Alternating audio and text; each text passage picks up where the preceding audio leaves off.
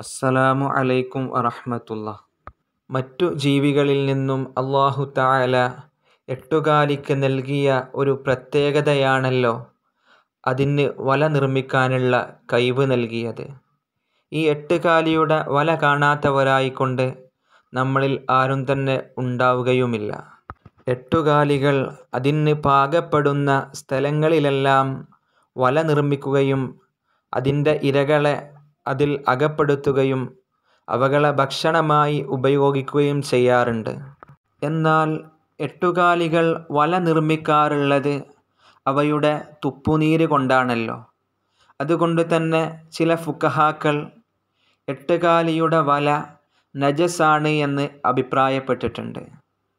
എന്നാൽ അധികം ഫുഖഹാക്കളും എട്ടുകാലിയുടെ വല നജസല്ല എന്നുള്ള അഭിപ്രായക്കാരാണ്. അതുകൊണ്ട് തന്നെ മൊഴ്ത്തബദായ അഭിപ്രായം എട്ടുകാലിയുടെ വല നജസല്ല.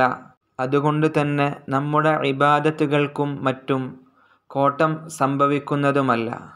നാം പണ്ട് മുതൽക്കേ കേട്ടുവരുന്ന ഒരു വർത്തമാനമാണ് നാം പാർക്കുന്ന ഭവനങ്ങളിൽ എട്ടുകാലികളുടെ വല നീക്കം ചെയ്യാത്ത രൂപത്തിൽ അവിടെ ബാക്കിയാക്കിയാൽ അത് ദാരിദ്ര്യത്തിന് ഇടയാക്കുമെന്ന ഒരു വാർത്ത.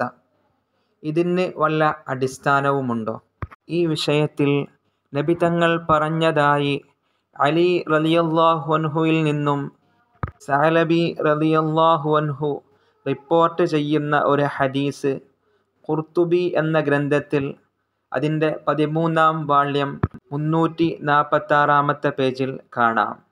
എട്ടുകാലിയുടെ വലയിൽ നിന്നും നിങ്ങളുടെ ഭവനത്തെ നിങ്ങൾ ശുദ്ധിയാക്കുക. കാരണം അവ നീക്കം ചെയ്യാതിരിക്കൽ ദാരിദ്ര്യത്തെ ഉണ്ടാക്കുന്നതാണ്.